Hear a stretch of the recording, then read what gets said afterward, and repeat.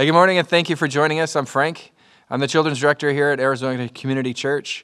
And today's devotion is coming to you from the book of Hebrews, chapter 6, uh, verses 19 and 20.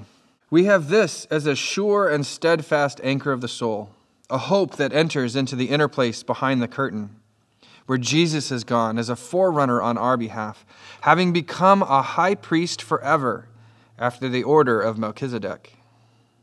And here we see that Jesus is a forerunner for us.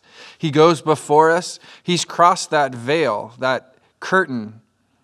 And beyond the curtain, if you'll remember in the tabernacle, that is where God dwelled, where even the high priest of Israel could only enter once, once a year, and only after a tremendous sacrifice and special robes and all this ceremony. Jesus has free access. He goes before us freely, and He advocates on our behalf.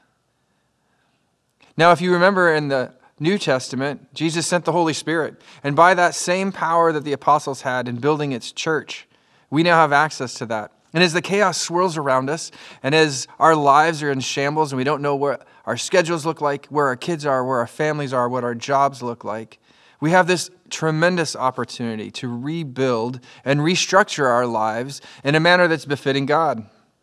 Where before we had excuses we couldn't join with God because we had too many things going on, we don't have that excuse anymore. We can come to God on His terms. We can build that time in, whether it's devotion time with the family at the dinner table, whether it's time in the morning just watching the sun rise, or maybe it's calling our grandkids on the phone or FaceTiming and just sharing a devotion with them and watching their eyes light up as they learn more about Jesus.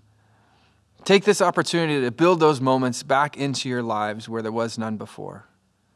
Use this time to anchor yourself with Christ.